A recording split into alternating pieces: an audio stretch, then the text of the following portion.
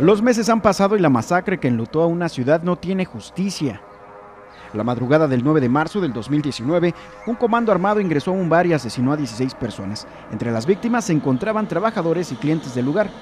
Pasaron dos meses y medio para que la Fiscalía General del Estado de Guanajuato presentara al orquestador de la masacre, Marcos N., alias El Ñecas, señalado como principal dirigente del cártel Santa Rosa de Lima, fue vinculado a proceso y se encuentra en prisión por el ataque armado en una vulcanizadora en Valle de Santiago. Continúan las investigaciones para realizar las imputaciones, pero todavía no existe un castigo por el caso del bar La Playa. Luis Pérez acababa de cumplir 23 años, era un joven trabajador, había terminado sus estudios y según su papá era un hombre de bien. Esa noche salió a trabajar como de costumbre, pero no regresó. Ya después me hablaron que había habido una balacera ahí en el bar Las Playas y le quitaron la vida a mi muchacho, 23 años, tenía mi hijo, José Luis Pérez Barrón, y, y me duele mucho. Él era buena gente, hijo, era mi hijo, y era buena gente el muchacho, se portaba bien.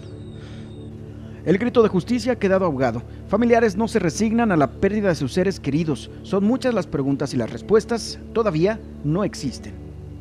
A traerle unas flores a mi, a mi hijo que lo mataron aquí en las playas. Y me duele mucho la muerte de mi hijo. Que me lo hayan matado así cobardemente. Él andaba bien trabajando y llegaron gente mala y los, asesinaron a sangre fría. Esos no tienen amor de madre ni amor de padre porque yo no sé en qué cabeza cabe eso. Durante el primer semestre del 2019, 243 personas perdieron la vida en ataques armados. Algunos homicidios fueron relacionados con delitos del Foro Federal, otras víctimas perdieron la vida en el fuego cruzado.